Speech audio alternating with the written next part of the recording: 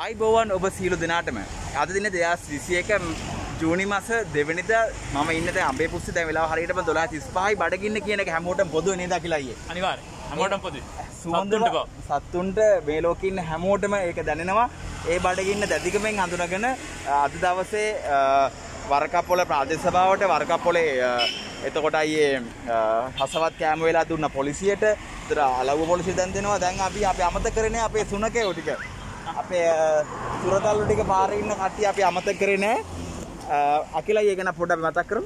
අනිවාරෙන් අපි මේ ප්‍රදේශීන සම්පූර්ණ වීදි සුනකයන්ට කෑම වෙලක් යනවා රසවත් කෑම වෙලා ඒගොලන්න කන්න.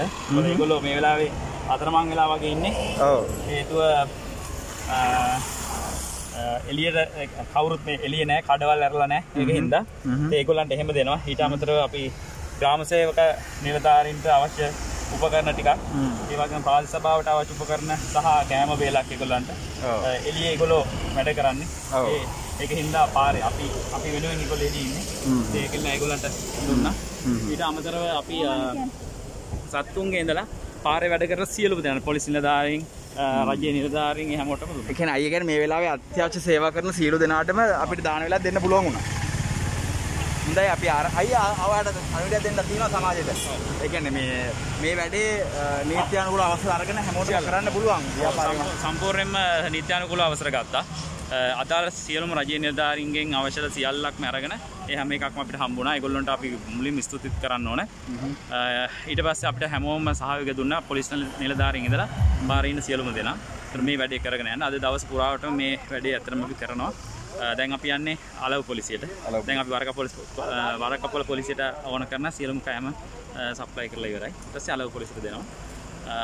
මේක තමයි අපි කියක් හරි හම්බ කරගත්තා නම් ඔව් ඒකෙන් අපි අනික් කට්ටිය දෙහත් බලන්න ඕන කියලා තීරණය කරා. ඉතින් ඒකකින්ද අපි ඒ දේ අද කරනවා. හොඳමයි හොඳමයි එහෙනම් ජය වයි. හොඳමයි මේ වැඩසටහන සහභාගී වූ සියලු දෙනාට අපි ස්තුති කරමු අයියෝ. හොඳයි මේ මේ මෙම ලොකු පිරිසක් නෑ.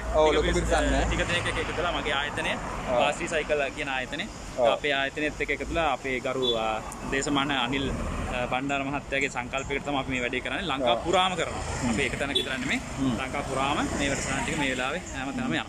හොඳයි එහෙනම් අයියලාගේ ව්‍යාපාර කටයුතු සාර්ථකව පත් වෙන කියලා ප්‍රාර්ථනා කරනවා. බොහොම ස්තුතියි. හොඳයි. ජය වේවා හොඳයි.